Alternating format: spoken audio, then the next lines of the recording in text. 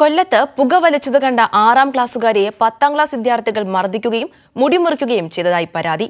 ആറാം ക്ലാസ്സുകാരുടെ രക്ഷിതാക്കളുടെ പരാതിയിൽ വസ്തുത തേടി പോലീസും ചൈൽഡ് വെൽഫെയർ കമ്മിറ്റിയും അന്വേഷണം ആരംഭിച്ചു. കൊല്ലത്ത് പെൺകുട്ടികൾ മാത്രം പഠിക്കുന്ന സ്കൂളിലാണ് സംഭവം.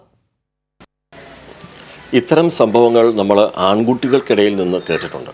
പക്ഷേ പെൺകുട്ടികൾ പുകവലിച്ചു അത് കണ്ടതിന്റെ പേരിൽ അതിനെ ചോദ്യം ചെയ്തതിന്റെ പേരിലാണ് നമ്മുടെ ഈ കുഞ്ഞു മോളുടെ മുടി മുറിച്ചത്.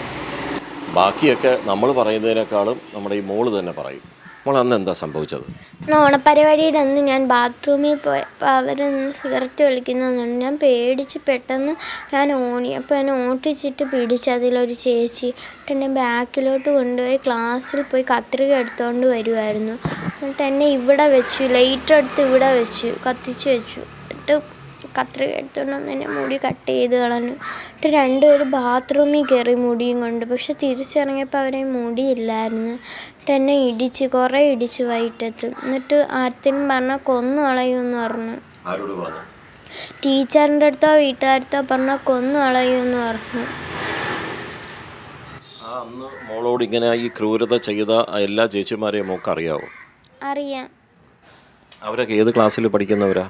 ടെൻത്തിൽ പഠിക്കുന്നവരാണ് പിന്നെ മോൾ അതിന് ശേഷം ഒരാഴ്ച കഴിഞ്ഞാണല്ലോ വീട്ടിൽ വാപ്പയോടും ഉമ്മയോടും ഒക്കെ വിവരം പറയുന്ന മോൾ. അത് അതിന് മുമ്പ് ഈ ഇവരെ കണ്ടിരുന്നോ?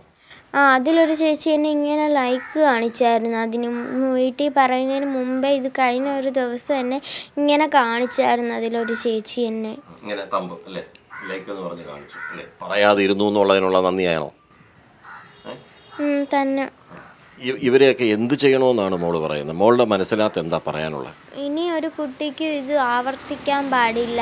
അവരിനി സിഗരറ്റ് വലിക്കാൻ പാടില്ല. അത് തന്നെയാണ് എനിക്ക് പറയാനുള്ളത്. അപ്പോൾ ഇതിനപ്പുറത്തിനി നമുക്കും ഒന്നും പറയാനില്ല. എന്തായാലും ആൺകുട്ടികളെന്നോ പെൺകുട്ടികളെന്നോ ജെൻഡർ വ്യത്യാസമില്ലാതെ ലഹരിക്ക് അടിമയാകുന്നതിന്റെ സൂചനകളാണിത്. എന്തായാലും ഇതിന്റെ വസ്തുത കണ്ടെത്തേണ്ടുന്നതും അത് അന്വേഷിച്ച് അതിന്റെ സത്യം പുറത്തു കൊണ്ടുവരേണ്ടുന്നതും തെറ്റ് ചെയ്തിട്ടുണ്ടെങ്കിൽ അവർക്ക് ശിക്ഷയല്ല. അവരെ ബോധവൽക്കരിച്ച് തിരുത്തേണ്ടുന്നതും പോലീസിന്റെയും നമ്മുടെ നാട്ടിലെ മറ്റ് സംവിധാനങ്ങളുടെയൊക്കെ ഒരു കടമ കൂടിയാണ്. കൊല്ലത്ത് നിന്ന് ക്യാമറാമാൻ ശൈലേഷ് കല്ലായിക്കൊപ്പം രാജ്കുമാർ.